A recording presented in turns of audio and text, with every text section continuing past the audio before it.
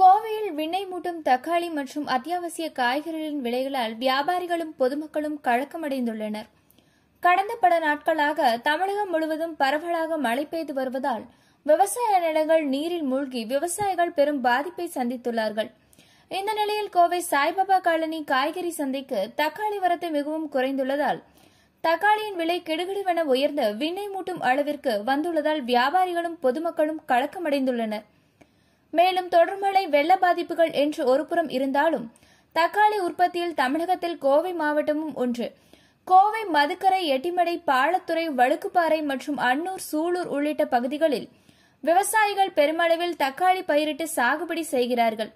இருப்பினும் கோவையில் தக்காளி விலையேற்றம் என்பது பலரையும் ஆச்சரியப்பட வைக்கிறது. இதுகுறித்து தக்காளி வியாபாரி காதர் கூறும்போது தக்காளி உள்ளிட்ட அத்தியாவசிய காய்கறிகளின் விலையேற்ற உயர்விற்கு மழை மட்டும் காரணமல்ல பெட்ரோல் டீசல் விலை உயர்வும் முக்கிய காரணமாக உள்ளது. மத்திய அரசு பெட்ரோல் டீசல் மீதான கலால் வரியை குறைத்துள்ளதை அடுத்து இந்தியா முழுவதும் பல்வேறு மாநிலங்களில் பெட்ரோல் டீசல் மீதான கலால் வரியை குறைத்துள்ளதால் அந்த மாவட்டங்களில் அத்தியாவசிய பொருட்களின் விலை கட்டுக்குள் வந்துள்ளது. தமிழக அரசும் அதேபோல் பெட்ரோல் டீசல் மீதான கலால் வரியை குறைத்து விலைவாசியை கட்டுக்குள் கொண்டு வர வேண்டும் என்பதே பொதுமக்கள் மற்றும் வியாபாரிகளின் கோரிக்கையாக உள்ளது.